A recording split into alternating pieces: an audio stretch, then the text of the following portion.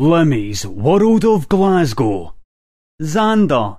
I went up to that Glasgow Tower, you know the one next to the Science Centre? The only building in the world that can rotate 360 degrees for the grown up.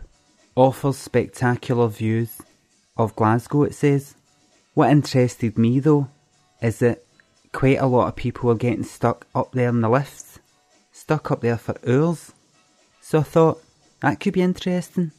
So I headed there, got my ticket, went up to it. The place was dead. There was a guy outside. I says, Is this it? He says, That's you, you can go up right now. I says, Is there anybody up there just now? He says, No, there's nobody up there, son. I says, Are you going up? He says, No, I don't go up. I says, So this is it, I'll be going in here myself and that's it. He says, Aye, that's a good thing though, isn't it? I says, Aye, it's a good thing. So I went in, I paid the money, it was too late to back out. I went up the lift, I got to the top, looked out, and it was shite. You could get the same view from a million and one places in Glasgow. So there I was, looking out to the south side of Glasgow, and I could just see for miles. I could see all the way down to the Kennishead Flats. The Kennishead Flats next to Carnwadric, next to Arden and Darnley.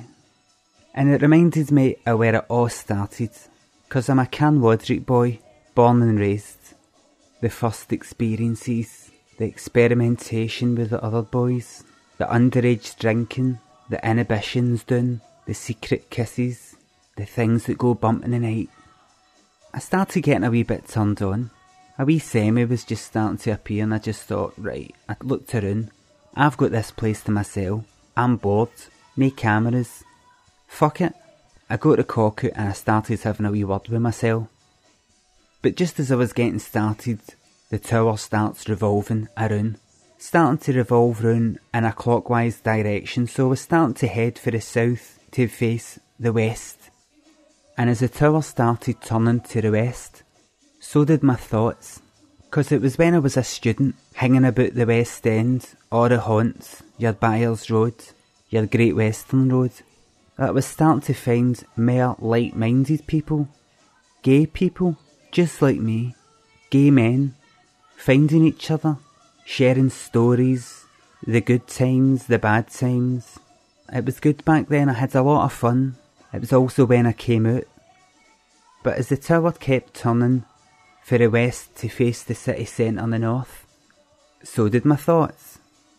Because there came a point where I wanted to turn away for the poofy West Ends. I didn't like mixing with gays. I didn't feel attracted to other gay men. And it was when I was up the north, I started having chance encounters with some of the businessmen who had the houses up in the Milngavie and Bearsden. The right posh folk, the grey haired businessmen with their wives and ex wives and twitty wains, picking me up as a boy. I found myself walking down University Avenue one night, you know where all the rent boys are and I got mistaken for one myself for a businessman. A guy who I later found out once I got chatting to him. He had a wife in Wayne's, but this is his, this is his wee thing in his sides. And the next half hour I spent with him in that motor opened my eyes to the pleasures of a sexual encounter with a straight man. There's a danger and excitement. You're special to them. You're new to them and you're fresh to them.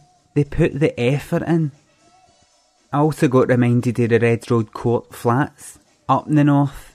I was working up there helping asylum seekers, and after them you get a strange mix of their disgust for gaydom, but also how they're all into it because of that. They've got more venom in them, more passion. To them, you're a guilty pleasure, and I know it's no one they're gonna get very often. So see when they get it, they go for it in a seriously big way. The tower started turning towards the east. The rugged, rough, angry east. Your Brigton, your Duke Street, your Dennistoun, your Parkhead, your Barras.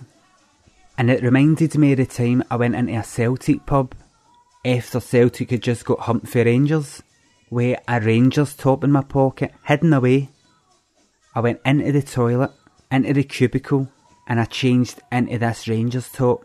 all deliberate. I waited until I heard a lone voice in the toilet, some drunk guy rough, saying, Orange bastards, fuck the Queen.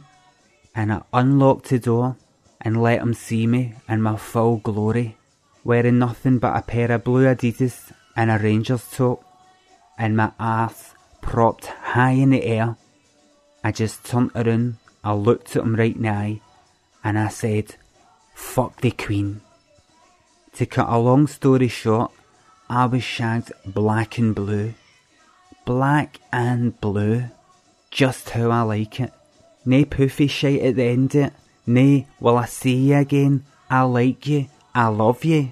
None of that fucking rubbish. Rough and ready sex. Nae questions asked. Without even thinking about it, I'd picked up the pace to a fury wank. Really, Jack Cameron. Ben Ella, a big issue vendor, pounding away at myself. And as I got to the tickle a bit, there we were, turning back down towards the south side. I got to the tickle a bit, whipped the trainer off, spunked in it, put it back on to keep the place tidy, and there I was left with a glorious view of the Kennishead Flats, with your Carnwadric, Arden and Darnley right next to it. Back to where it all began. So I never got a shag, but, ach, a wee trip down memory lane.